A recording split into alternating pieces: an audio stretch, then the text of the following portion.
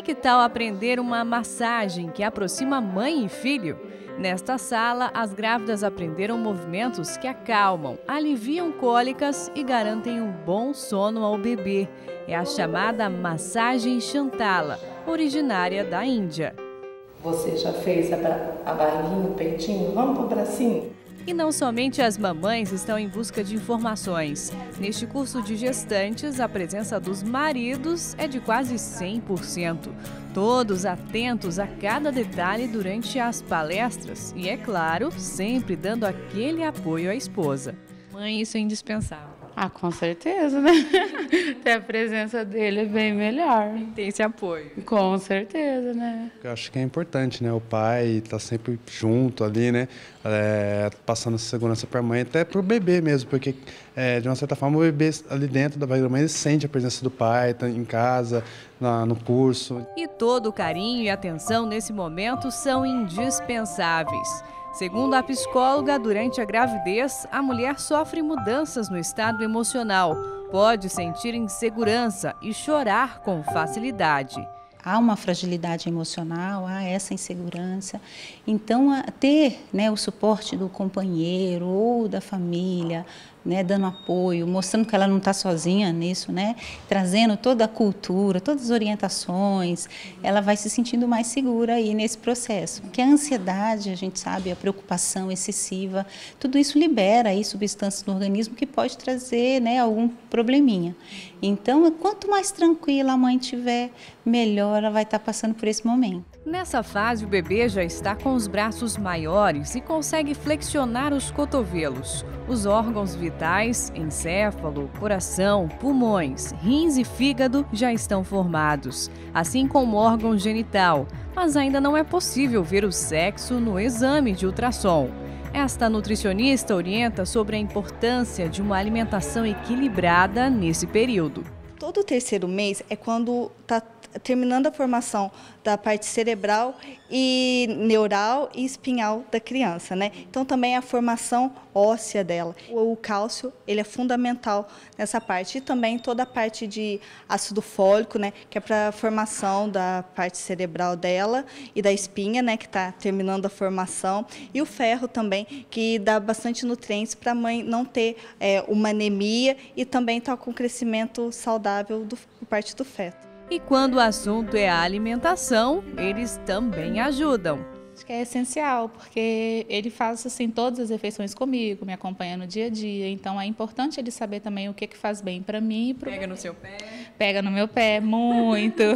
isso pode, isso não pode. Então foi muito importante. E é uma forma da gente participar também, né? A gente não carrega o bebê, mas a gente acompanha tudo que acontece, os enjoos, os, os chutinhos e, e tudo. No terceiro mês de gestação, o bebê já reage a estímulos como no momento em que alguém faz um carinho na barriga da gestante, mas a mamãe ainda não consegue senti-lo se mexer. Primeiro trimestre é normal a futura mamãe ter ganhado um ou dois quilos e aqueles enjoos já começam a diminuir, assim como as tonturas.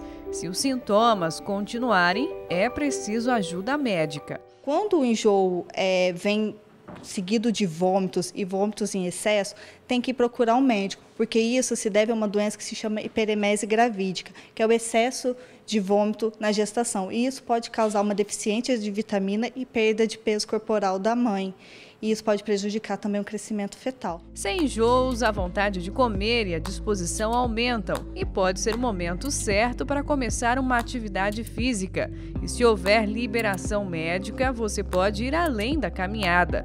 Natação e hidroginástica, por exemplo, diminuem a retenção de líquidos e os incômodos nas costas. Para melhorar a flexibilidade e fortalecer os músculos, aula de Pilates.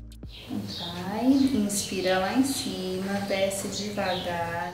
Principalmente a musculatura do períneo, que é a musculatura que a gestante precisa de fortalecimento para não ter infecções urinárias, que é normal ter é, colapsos, de, prolapsos no final da gestação. Tem muitas mulheres que têm parto normal e têm a fraqueza muscular e isso ocasiona vários problemas. E o Pilates ele consegue um fortalecimento de, de toda a, a musculatura interna do abdômen e de todo o corpo como um todo. O alongamento ele traz mais conforto para o corpo e diminui as dores também. Sônia está no oitavo mês de gestação. É o terceiro filho, mas a primeira vez que pratica pilates na gravidez. Eu sinto mais é, conforto durante o dia para fazer as outras atividades, como ficar sentada no computador, o dia inteiro a coluna já não sente tanto. Os pés não incham, as não, pernas não, não incham? Não incham.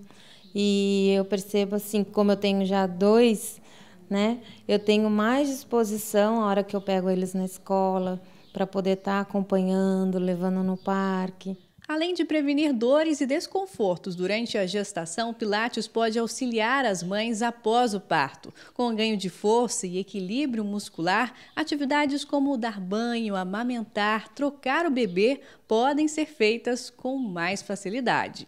Todos os exercícios que vai fazer, ou leva o tronco para frente para dar banho, para pegar alguma coisa no chão, para fazer para amamentar, é uma posição que fica também bastante arcada. Se ela não está com todas as costas fortalecidas, ela sente dor no meio das costas, dores na lombar, que é a região que mais dá hérnia de disco, mais dão problemas mesmo no pós-parto. E são dessas dores que Sônia quer distância. Por isso, enquanto se sentir disposta, vai continuar firme nos exercícios. Pretendo até o final.